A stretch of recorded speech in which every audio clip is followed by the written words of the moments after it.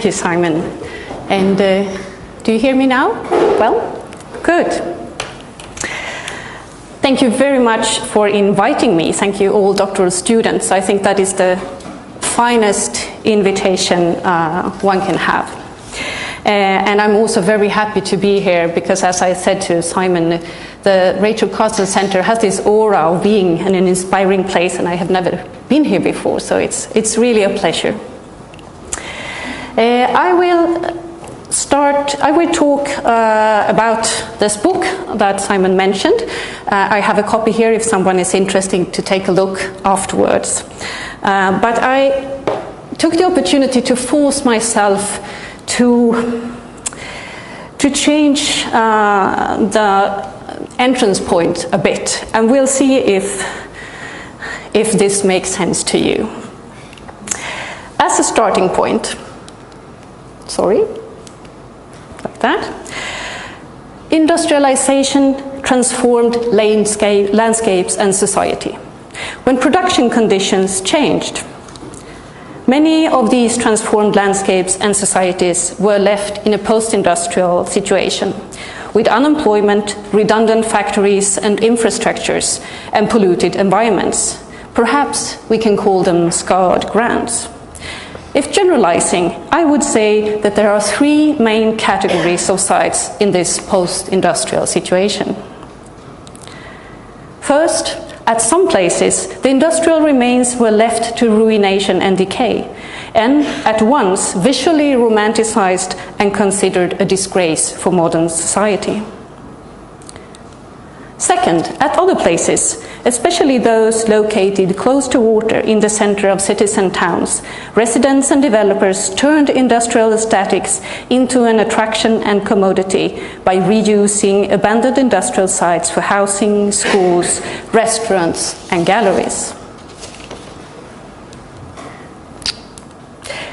A third category, which I have labeled undefined or liminal, brings together sites which are not really seen. Generally, they are difficult to visit, difficult to comprehend, and not considered important. These places are often post industrial in the sense that production has stopped, but they may still house some ongoing activity, and by that appearing as liminal and unclear. Personally, I find these places the most, the far most interesting. One way they're interesting, and this is the new take, is that they are challenging, they're challenging a linear and chronological understanding of time. And I will here today try to show you how. I will also suggest a way to conceptualize these other temporalities by using the metaphor of a scar as a way to articulate and live with a scarred ground. Let's begin with the general characteristics of a scar. What is it, and how can it be used metaphorically? A scar is the reminder, a trace of a wound. It is often ugly and stands for the pains of the past. Spontaneously, a scar is always understood as negative. However, some bodily wounds and scars are chosen self inflicted or at least positively laden. You see here cesarean section operation scars, Mensur scars with this beautiful young guy to the left. Um, and uh, body ornamentation, which I learned uh, about quite recently uh, through so called scarification. Over here. Uh, a kind of prolonged practice. If you, if you get bored of your tattoo, you can go into scarification. Uh, all these carry different meanings and connotations, but they have one thing in common. They are common. They are physical reminders of something of at least personal significance. A scar can even be a hallmark for the veteran or the fictional hero. Uh, and uh, at my home, we, no, this one. This is a scar that is really important uh, back in my home and has been for uh, many years. Harry Potter surviving the attack by Voldemort and the sign uh, that he did, like, did so. In a similar manner, scarred grounds, for example, post industrial landscapes, but it could also be other kinds of places, often convey ambiguous and complex pasts about injustice and fear, along with survival, resilience, and courage. Translated into another societal area, the idea of wounds and scars has been employed by architects and artists dealing with reconstruction of memorial projects. The Swedish artist Jonas Dahlberg, for example, won the competition to design a public memorial commemorating the 2011 Utøya massacre in Norway. The general idea of Dahlberg's proposal was to create a wound or a cut in nature by taking away a slice of a narrow cape at Utøya. This three and a half meter void or artificial sound would make it impossible to reach the end of the cape. It would interrupt visitors' movement in order to, and I quote, acknowledge what is forever irreplaceable, end of quote. Uh, even though he won this competition, um, this memorial um, um, installation or, or, this memorialization uh, has not happened yet because of, of uh, conflict, since those living close by really don't want to have it there. Um, Another example is the American architect Lebbeus Woods, who has designed several projects for places marked by different kinds of crisis. His best known proposals are for Sarajevo after the Balkan War, a project to combat Havana's deterioration after decades of an ongoing trade embargo, and for San Francisco after the 1989 earthquake. His overall approach in these three places is termed radical reconstruction, emanating from proposals called scabs, tissues, and scars. In many ways, the architecture resembles organic texture and form. It interplays with existing, damaged buildings and sites by means of contrast, mirroring, and outgrowth. Wood denotes a scab, and I quote, a first layer of reconstruction, shielding an exposed interior space or void, protecting it during its transformation. End of quote. A scar, he says, and I quote again, a deeper level of reconstruction that fuses the new and the old, a mark of pride and honor both for what has been lost and what has been gained. It cannot be erased. To accept a scar is to accept existence. End of quote. Thus, basically, a scar tells about important and most often ambiguous pasts. Important because the event causing the wound and later the scar was of such a scale that it didn't heal into disappearance but left a mark that will never go away. And ambiguous because of its potential to combine the past, the pains of the past, with the strength of endurance and sometimes also the beauty of experience. The story of a scar, therefore, never concerns indifference. To present the first challenging temporality, I will now elaborate on another aspect of the scar, namely how it relates to simultaneity, and I will use the palimpsest as a contrasting illustration. A palimpsest, as you probably know, is a handwritten manuscript on parchment or papyrus on which one text has been scraped away and replaced by a new one. This recycling practice of antiquity and the Middle Ages was often used repeatedly in order to mark, mm, make use of the valuable parchment, even though it was sometimes possible to discern the erased text behind the new edition. In postmodern contexts, the word has been used metaphorically to describe the different layers of significance that make up history and heritage. New layers are continuously added as time goes by, like new text inscribed on a scraped, clean parchment. However, this metaphorical use of the palimpsest is misleading if one wishes to emphasize the interconnectedness the linked relevance between the different layers. If we believe that history and heritage consists of a multitude of parallel or successive stories and perspectives, all contributing to one another and to the overall picture, the palimpsest is a poor choice of a metaphor, since the palimpsest, in its original sense, implies that new texts are added without regard or connection to those previously erased and thus the end result is a picture made up of fragments and additions without any mutuality or interrelated content. A scar, on the other hand, puts emphasis on the interconnected and sometimes simultaneously existing meanings. When a wound is healing into a scar, the scar itself could be understood as dead, non sensory skin, where the normal skin layers have been replaced by a dense new scar tissue. But nevertheless, it forms a part of the living body. It is organic and created on the basis of past significances, entangled with present standpoints. Therefore, in a metaphorical use, the scar also offers a way to overcome the many dichotomies of change before and after, winners and losers, progress and decline, and create integrality and simultaneity instead. The scar is not a palimpsest. Now, a, let us take a look at the way in which the liminal and undefined post industrial places presents us with a temporal understanding emanating from this idea of organic integration and simultaneity. When I visited this steelworks in Chusovoy in the Ural Mountains in Russia, more than 10 years ago now. One uh, of the top attractions for our group of industrial heritage scholars uh, was the so called Bessemer converter.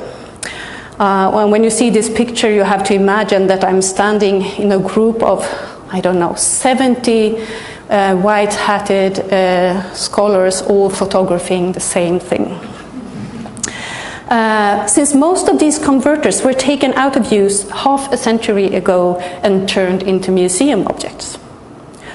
What is actually past and what is present in this place?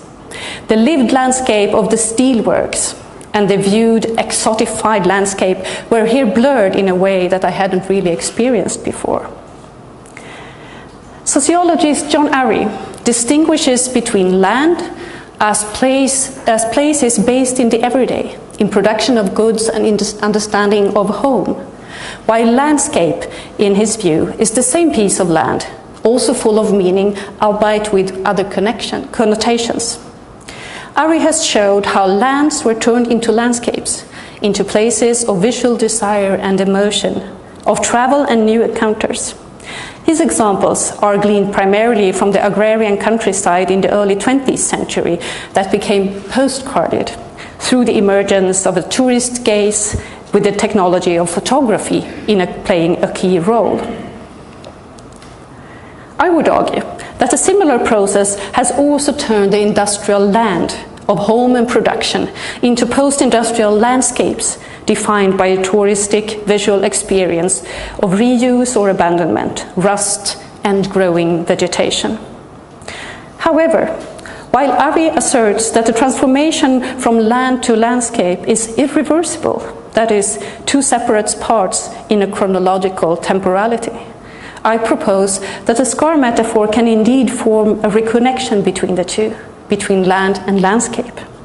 The scar might be the result of this transformation, but it's also a new entity, providing integration between different stories and significances. Hence, the experiences and perceptions of land and landscape can exist at the same time, at the same physical spot, but the constitutions differ and one of them is dominant, either the land or the landscape. The scar is, is, a possibility to acknowledge the abiding meanings of land within an understanding dominated by landscape. People living in the land who consider it their home probably know whether it has become postcarded into a landscape by other people, and vice versa. People comprehending a place mainly through the tourist's gaze can include an understanding of a still existing land. They may exist simultaneously. Thus, the first temporality I want to highlight here today is the possible and also, I would say, probable uh, simultaneity of different lived realities on the same physical grounds, with simultaneous yet interconnected significances. To describe the second way in which I think the liminal and undefined scarred grounds provide us with, with a challenging temporality, I will tell a bit about how the scar metaphor relates to process, which later will lead us to a prospective approach. I think it's easy uh, to see how the scar puts emphasis on process. The course of healing from wound to scar is, however, not linear nor automatic, non deterministic, you could say. Instead, as in individual psychological healing, the process might, may be cyclical, can happen in stages, and even demand active work. It brings difficult pasts to the fore as, it, as often as it leads away from them, and old wounds may reopen. Thus, while a scar bears the potential capacity to heal, recover, and reconcile, this is not a self evident outcome, especially since the metaphorical scar applies to processes of healing in the social, cultural, and political spheres rather than the biological one. Uh, these pictures show how the lo- local municipality uh, envisions the future of the place where the closed down Barsebäck nuclear power plant is located. Uh, so this is how it looks today, and this is their view of, of a first step when everything is taken away uh, and a, a, safe green lawn is established. And then they want to build the Barsebäck seaside resort on the same place. Uh, and this might be uh, understood as a joke, but it's actually not. Uh, it's, it is a vision of healing or a vision of concealing the nuclear activities of the past. That's an issue one can think of. Furthermore, the scar is not only a noun but also a verb, implying a process or action taken. We can scar and become scarred, and scarring can take place. There is somebody behind the existence of a scar. Responsibility and choices are involved. And in the scarring process, the open, one, the open wound turns into a scab on its way to finally become a scar. The intermediate stage of a scab signifies a situation of undefined shapes and unsettled meanings, a liminal condition.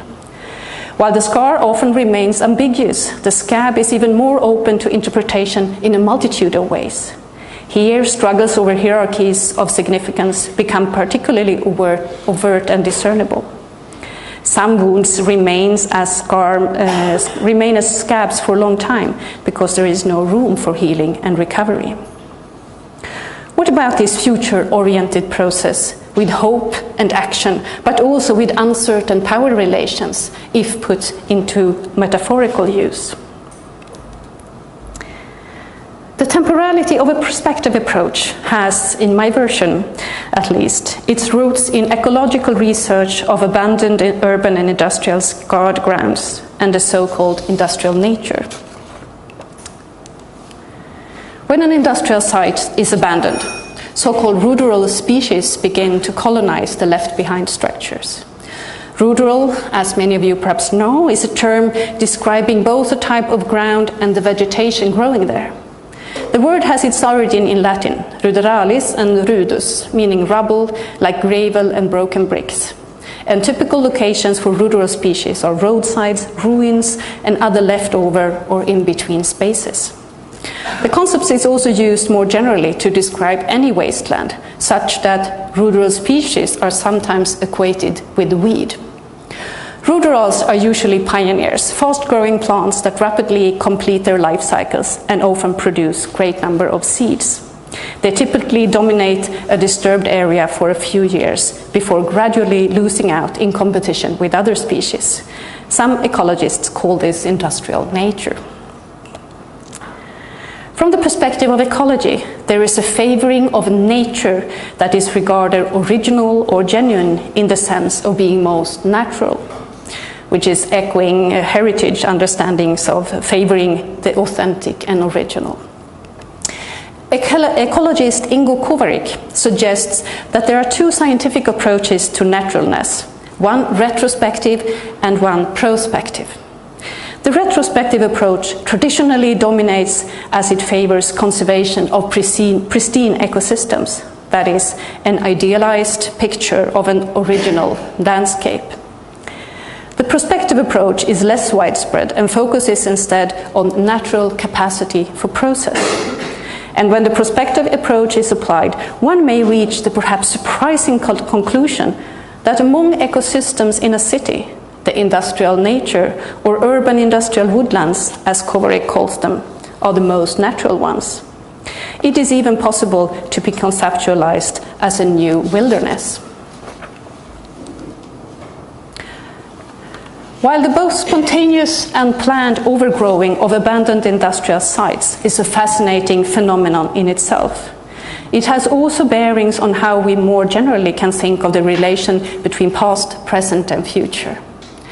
I think the prospective approach of seeing industrial nature as a new wilderness encourages us to try what happens if we play down the commonly used retrospective memory. That is, to regard history and heritage as something originally and intrinsically authentic. But rather apply a prospective approach also here. A prospective memory suggests an unfolding and ongoing relationship between past, present, and future and seductively enough, enough resonates very well with the prospective approach to naturalness, in which the capacity for process is a key feature. So, here, what do you say? Uh, do you think this arts project to make wall plates with motifs of nuclear power plant landscapes and the accompanying motto of the artists, and now forgive me my pronunciation, Denkmäler des Irrtums, Hoffnung von gestern, Folklore von morgen. If this is an example of a prospective approach to memory. Uh, and I have to, here's a close up, one of the plates. To change viewpoint like this, to change temporality in a way, might, however, cause negative reactions, since, from a traditional standpoint, the focus on the capacity of scarred grounds to contribute to a social and material healing process instead of what is the preset authentic heritage, in this case, the story of nuclear power, can be as provocative as to put the new wilderness of industrial nature. Um, with the highest growing capacity alongside with the pristine old wilderness. Thus, the second temporality I want to highlight is the prospective approach, a focus of becoming. If choosing this temporality as a point of departure, the valuation of different scarred ground also changes. The attention to process and becoming, process uh, and becoming of living with a scar is certainly also more difficult since it implies that the significance of an event are not once and for all defined. This also leads me to my conclusions. Sorry. A final characteristic of a scar that I want to emphasize is how it might be chafing and itching. In a metaphorical use, this chafing is a sign that here is something not settled, not entirely told about. And this is a key characteristic, I think. For both the temporalities I have de been describing, the simultaneity of different lived realities on the same physical ground, and the prospective approach with a focus on becoming and capacity for process. The chafing and itching of the scar is critical. This is because of the unavoidable power relations involved in the definitions and understandings of the scarred ground. If we, for example, take an undefined if we take an undefined and liminal place, it might quickly change into a ruined or reused site, where it still might be called scarred ground, but where the existing lived realities are fewer and the capacity for process more limited. With this, I'm not saying that we should aim for as many undefined places as possible, or that ambiguity is always an inherently good and or liberating, but rather, as human geographer Shiloh Krupar pointed out, that ambiguity is what must be explored to contest routinized recitation of evidence and established truth. The itching of a scar can therefore be seen as a crucial narrative potential, a potential that is both a possibility and a promise. If paying attention to this itching, we will get a tool to question power relations. All stories are not equally true or equally important. And therefore, I believe we have a responsibility to always search for legitimate politics of memory in the ongoing transformations of landscapes and society. Before ending, I would uh, just tell that I'm currently working on nuclear fish uh, as something that has to be ecologically monitored due to massive use of uh, cooling water in the production process, and as a cultural practice in different ways. So, afterwards, if any of you have any ideas or references to this fascinating area of nuclear fish, I'm very happy to hear them later. For now, and with this picture of Allen's Pond, um, a beautiful site built for dumping low level radioactive mud, I would like to encourage you to look for, articulate, and embrace the ambiguity, the simultaneity, and the prospective approach of places you meet, be it industrial, post industrial, or other kinds of scarred grounds. Thank you.